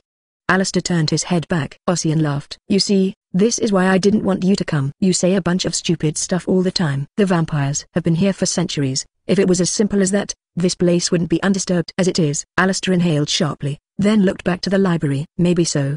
But you did something very stupid. You left that murderer roam free. I intend to correct that. Are you serious? Ossian tilted his head. He's the reason we made it here to begin with, and you're going to correct that? That head he has, Alistair looked back. If it's the key to these doors, it might be the key to this library. Argrave said the Wayward Thorns were mere apprentices in the Order of the Rose, but that head. It was a high wizard. No, there has to be something to that. Even if it can't get rid of this barrier. It definitely knows how to break it. Gods. You're being serious. The man hands us the biggest boon to our knightly order in centuries on a silver platter, and you want to make his life harder than it already is. If, indeed, He's even alive? Alistair stepped up to Ossian. What happened to your bravado, Ossian? You chased after him with the intent to kill, and then you find him and make nice? If Claude were here, I'd petition to have you stripped of your rank. He pressed a gauntleted finger against Ossian's chest. You do this, go to the menagerie, I won't stand for it. Ossian swatted Alistair's hand away. And I won't let you do it secretly during the night, either. All I did, I did for the Sentinel's honor. You, though, I've got no idea what you're thinking. You want to start a mutiny, Ossian? Alistair tilted his head. It's no mutiny. You're not my leader, Ossian said loudly and clearly. This is a joint expedition, for the purpose of wiping out the vampires. Nothing more, he emphasized. Fellas, no need to argue over me, echoed out a hoarse voice. The two master sentinels turned their heads to the side, where three figures walking beneath a ball of light slowly stepped out of the darkness and into the lower levels. Alistair raised his fingers to his mouth, and despite the gauntlets, sounded out a perfect whistle. At once, all of the sentinels that had been idle came to attention, facing towards the new arrivals. Gods. Argrave?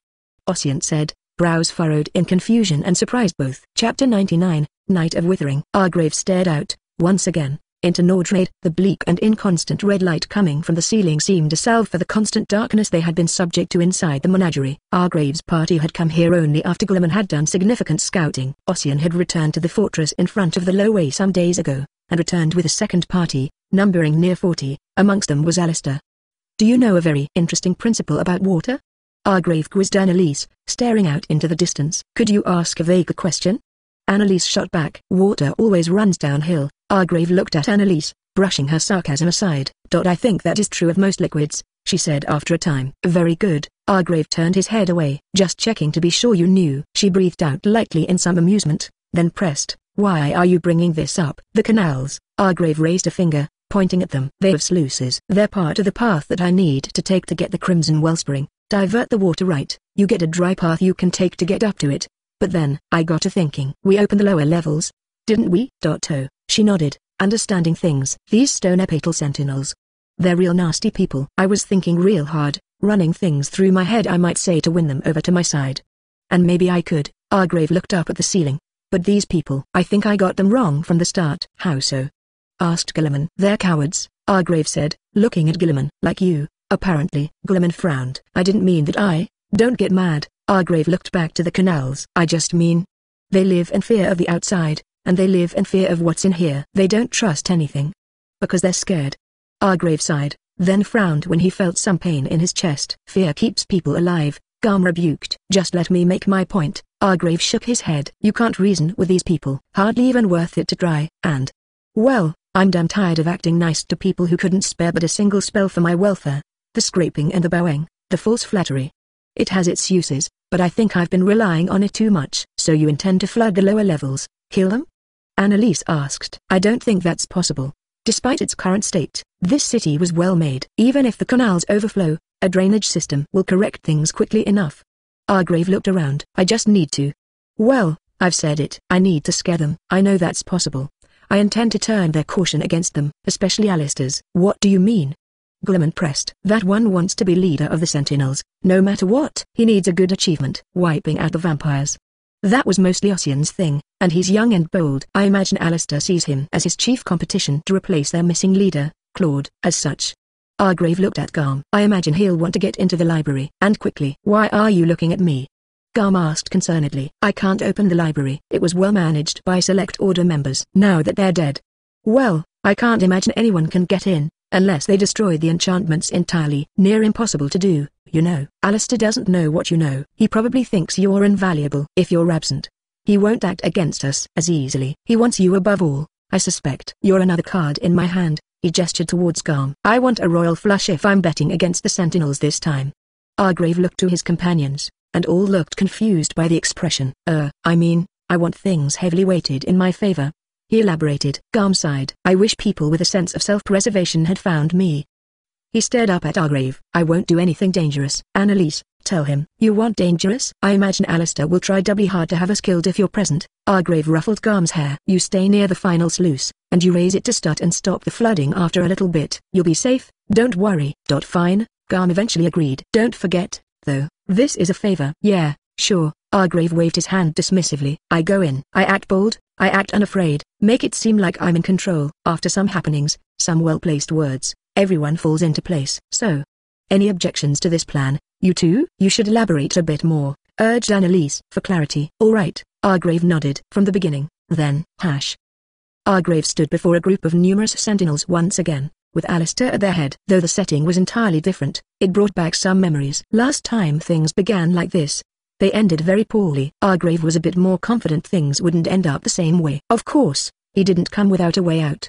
He had been very cautious before approaching. Galamon had confirmed their count, the sentinels numbering 36, and Garm had confirmed there were no mages beyond B rank. Should things go sour, Galamon was instructed to pick Argrave up and run away. Unflattering, perhaps, but Argrave was confident they could get away easily enough. Indeed, their enemies might not even give chase, considering their paranoia of traps and snares. Guess they're right to fear a trap. Not like they can escape it now, though, Argrave thought, using that to assuage his anxiety. Interesting conversation you two were having, Argrave spoke at a fair volume, his voice ragged and rough. He sounded like a chain smoker when he spoke loudly, but Garm assured him that it would change in a few days. His limbs felt weak, taking deep breaths was still painful, and Argrave could not exert himself, but he had no choice but to be here. With things as they were, Argrave knew he couldn't expect a warm reception. Despite the many days taken for his recovery, he still felt terrible. But the unsullied knife would still be here, and Argrave would much rather get it now before the Stonepetal sentinels could take it back to the entrance of the lowway. With things having progressed as they had, Argrave had only two options. His first option, he could get the unsullied knife now by dealing with a group of weary, cautious Stonepetal sentinels who had already seen the power he possessed. They were, further, ignorant of his blessing of supersession's limitations. The second option was to let them have the unsullied knife and get it from their fortress later. In the heart of their power, where near 200 of them would be waiting. In addition, he knew they had at least two A-rank spellcasters at that fort, Jean and Kaija. Obviously, confronting them here held more appeal. The preparations he had made further sealed that deal. Ossian took his hand off the pommel of his sword. You cured the red lung? How? I had to unhinge my jaw like a snake, open real wide. Then I stuck my hand deep, past my throat and into my lungs. And pulled the disease out, piece by piece. Argrave emulated what he described, then stepped forward, continuing in his hoarse voice, it took southern grit and a sword swallower's finesse, but I managed. And here I stand. My heart's a beating, my soul's a singing. Alistair held his hand out and shouted, keep your distance. Say please, maybe I'll consider it, Argrave said, but he did come to a stop. He looked about casually as though he didn't care about the armored entourage before him. The place had been filled by the corpses of vampires, sentinels, and guardians. It was gruesome enough that it might have bothered Argrave a great deal, but he was starting to grow used to these sights. Nice work in here. I would say couldn't have done it better myself, but... Well. He looked to Alistair. I think you saw the central lobby on your way in. It was very difficult to try and intimidate a room full of knights wearing enchanted armor who were also flanked by spellcasters at the same or higher rank than himself. Argrave was happy enough to have gotten through the sentence without stumbling over his words. Part of him expected to be laughed at in unison by the whole group like some sort of comedy sketch, but instead, a long silence settled throughout the lower levels of the headquarters. The shining lights of the library beyond the iron bars grimly illuminated the place. Why are you here? Ossian eventually asked, one of few of the Stonepetal sentinels that did not seem to positively bristle at Argrave's presence. I told you from the beginning, and my purpose hasn't changed. I'm here to reclaim my family's heirloom. Argrave shook his head as though disappointed. Things could have gone easy for the both of us. I could have taken you here, we could have wiped out the vampires together. Yet for reasons beyond me, you decided to move against us as we slept. But... Argrave spread his arms wide. We're here now. Having achieved what I initially wanted, despite some significant setbacks. I had to preserve myself, and despite that, I still gave you what you wanted most. I think it would be best for all of us. Argrave's throat failed, and his voice faded away. He paused to take a drink of water. Dot To put the past behind us. His words seemed to dissolve the tension somewhat. Alistair stared at Argrave unflinchingly, he seemed disappointed likely due to Garm's absence. I can't trust you. You were dishonest from the beginning. House Blackguard doesn't even exist, Alistair posited. That's what it was? Argrave raised a brow in surprise. I see. Guess I shouldn't have. Well, it doesn't matter. You want honesty from me? No answer came, so Argrave continued. Alright, I'll give you honesty. I am Argrave of Vasquer, son of King Felipe III. Don't toy with me, Alistair said, stepping forward. I'm not, Argrave said coldly pausing to allow his lungs to rest. It was starting to hurt to speak. Everyone should know what their king looks like, a giant of a man, as tall as me, with hair as black as night and eyes a cold, steely grey. Perhaps this light doesn't show those features well enough. Argrave adjusted his position so the light from the library fell on his face. A grim silence settled over as they took in his features. If you're a prince, you'd have an entourage of royal knights, Alistair countered. They are performing certain tasks for me. Argrave shook his head. And it is hard to travel quietly with so many knights. Alistair took a deep breath, thinking. Ossian asked, why not say this from the beginning? Yes, because it would be very prudent for a prince to roam about using his name carelessly when he's in the heart of the territory of an enemy rebellion, Argrave mocked sarcastically. Though, with things as they are, I suppose you have a point. Things would have gone easier had I been honest from the beginning. Argrave put a hand to his chest. I came here on behalf of my father to retrieve the unbloodied blade. Our family founded the Order of the Rose, and the artifact belongs to us, by rights. What use he was for it, I don't know. But being a prince has its responsibilities. This is nonsense. You make up things to suit your needs, and you lie again, even using the king's name, to bend us to your will. Alistair sliced a hand through the air. Galamon tapped Argrave's shoulder, that was the cue. Argrave had stalled long enough for the water to come. All right, Argrave nodded with a smile. You don't trust me, that's fine. How about I prove it? Prove it? Alistair repeated. There's no way I can think of. He shook his head. You remember the night of Withering? Argrave questioned. Well, stupid question. Of course you don't remember it, but you've probably read about it. Alistair's face hardened. What are you talking about? No one knows the cause of the Night of Withering, or so it's said. The only thing people know is that a tide of blood washed away the southern invaders. There's speculation, of course, but no one knows the real answer. Argrave spoke, stalling for time. When he started to hear rushing water, he sped things along. Well, that's not true. Argrave shook his head. The royal family caused the Night of Withering, flooding the low way with a river of blood, killing both the southern invaders and the Order of the Rose. The rushing of water became louder, crashing against the stone walls and echoing into the room. The Stonepetal sentinels all shifted uneasily. Argrave stepped forward, raising his hands in the air. Let me lay things out clearly for you. Argrave spoke louder, voice rising above the rushing water. If you refuse me, I will prove my descent. These walls will become awash with blood once more, and all within this place will be lost, just as it was near 700 years before. If Vasquer cannot claim this place, none shall. By this point, red water started to push past Argrave's feet and into the room beyond. The swell soon rose further yet, battering at his calves. His grey leather duster blocked debris carried by the overflow. So, Stonepetal sentinels, Argrave continued. Make your choice, Argrave. Ossian shouted out, stepping back. We agree. We'll put things behind us. He shouted in panic. Argrave was a bit taken aback. He hadn't expected an answer to come so quickly. He remained quiet as the tide grew larger yet, approaching his knees. Had the water been moving quickly, it would have been impossible to stay standing. What is Garm doing? I didn't want this much. I'm unconvinced. Argrave returned, trying to earn some more time for the tide to slow. Gods be damned. Ossian cursed. Alistair, just give it up. He shook the other master sentinel. Alistair stepped back deeper into the lower levels, stepping away from the water. He looked shaken, and most of the other sentinels seemed equally shocked by the occurrence. I, Alistair began but trailed off. Argrave faltered a little, and Galamon put his hand on Argrave's shoulder to stop him from being knocked over by the tide. All right, shouted Alistair. We'll hinder you no more. Argrave accepted the words in silence, as if divinely ordained. The rush of water coming from behind started to slow, and the red water spread out across the lower levels, battering against the walls. It was quite a messy sight, for the blood and gore caused by recent conflicts had all been stirred by the water. I'm glad we came to an agreement, Argrave smiled, a ray of light from the library beyond falling onto his grin. Chapter 100, Unsullied Knife. Argrave stepped through a pool of dark red water, the sound of the sloshing echoing out across the lower levels. The sentinels were near, but they gave the three of them a cautious distance. The disgusting wetness at Argrave's feet made his skin crawl, but he had to bear with it. There was a sense of urgency to his step that spurred his feet forward, yet the persistent aching in his chest made him check his speed.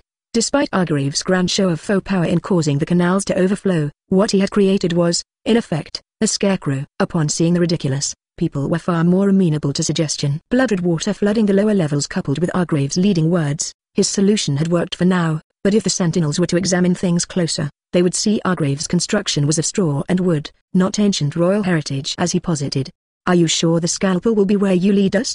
questioned Anneliese quietly. No, returned Argrave happily. Might be things have deviated. The scalpel may have been moved. If that's the case, we will be in an unfavorable position. Deviated, Anneliese repeated. Interesting word. It implies a set course. Argrave looked at Anneliese. You know another interesting word? Deviant. Stop making me out to be one. And stop being one yourself, while we're at it. Anneliese laughed quietly, and Argrave felt some his tension dispel with their light banter.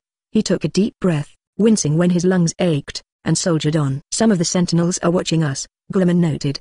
They were assigned to do so by Alistair. The remainder are giving us a decent distance. Argrave nodded, directing his companion, keep me posted. As they proceeded further into the lower levels of the Order's headquarters, the water level slowly dissipated until the only sound echoing out was the squishing of their wet boots against the stone. They kept a respectable pace, heading into the right hallway. Argrave's spell light illuminated the path ahead. After proceeding down the hallway for a time, an opening to the side revealed stairs descending lower yet. Argrave took them, keeping a steady pace and ensuring he kept his hand on the handrail. He wanted to rush, but his feet were heavy with water and he didn't want to strain himself. The sights down the stairs were untouched by the water. The fresh corpses of guardians, vampires, and sentinels littered the place. Argrave did his best to ignore them and press on. Has to be at the farthest point, doesn't it? Argrave muttered to himself. The rooms they passed by had once been places of study, but years being the sole home of the vampires in the lowway had made those origins almost unrecognizable. There were strange paintings on the walls, with a crudeness likened to what one might see in Neanderthalic cave paintings. They were very obviously made of blood. Some were calendars, while others were strange depictions of people and the sceneries of the low way. In the game, they had merely been undetailed textures. Now, though, some of the paintings were unimaginably detailed, as though made by an artist who'd had hundreds of years to perfect the craft, and indeed, some of the vampires may have been creating these crude paintings for a time as long as that. But despite the quality of the art, something could be seen beneath each painting, a strange sense of twisted savagery. It reminded Argrave of an exhibit he had seen once, artwork made by the mentally ill. Regardless of what was conveyed by the paintings, knowing who had made it twisted his perception. Beyond that, other oddities filled the halls, sculptures, wood carvings, artwork all an innumerable in count. Each were hobbies taken up by the vampires to pass the centuries, they were all wrong in some varied ways. Faces on sculptures were twisted, for instance. They were alien in the sense that they didn't seem to be made to appeal to human emotions. Argrave noticed, though, that Galamon's eyes lingered on many of the pieces for an especially long time. Perhaps there was something intrinsic to the art that appealed to the vampiric condition. Regardless, Argrave was glad when they turned the corner, and he saw the door he was looking for just ahead. Argrave prodded Galamon, pointing to the door. That's our destination. Dot right. The elf responded after an unusually long pause. He had to tear his gaze away from a statue. He moved forward hastily, grabbing the door and pulling it open. He looked around for adversaries, then motioned Argrave in. Argrave entered the room, spell light illuminating the place. The scene was not familiar. There was an altar in the center, but it had been overturned by three bodies, a vampire grappling with two guardians. All three seemed to have died together. One of the guardians had been torn in three and scattered, while the other impaled the vampire through the head with a spear. Remnants of spells lingered in the room, Frost most prominently. No. Argrave said despairingly, walking towards the overturned altar. He saw a glass display case with a velvet cushion that had been splayed out across the room. He kneeled down, picking up the box and looking about. Come on. Where? Argrave looked through the glass, searching for a white knife. Behind him, Anneliese noticed something, and bent down to pick it up. She raised it into the air. Argrave, she spoke. He turned when his name was called. Anneliese held a white scalpel in two fingers, its blade no larger than Argrave's thumbnail. It shone with red inscriptions, like glistening rubies embedded in elaborate weaving patterns. Ha ha. Argrave said excitedly, stepping forward. He held one hand out, and Anneliese gingerly handed the thing over. Be careful. I can feel it, she cautioned in a quiet murmur. Argrave looked her in the eyes, then delicately took the scalpel. And indeed, she was right.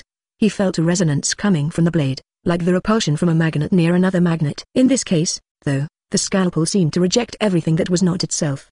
The unsullied knife, Argrave said, taking a deep breath. Despite the pain in his chest, he felt a rising triumph. Now, we can finally start getting the hell out of here. He clenched the handle tight. Hash. An innkeeper cleaned a wooden flagon far too thoroughly, scrubbing it clean with a washcloth. As he stared up at the roof, his face was cautious and tense, as though whatever lay on the second floor made him greatly uneasy. There was a rhythmic tapping sounding out, and each time it came a little bit of dust sprinkled out into the empty first floor.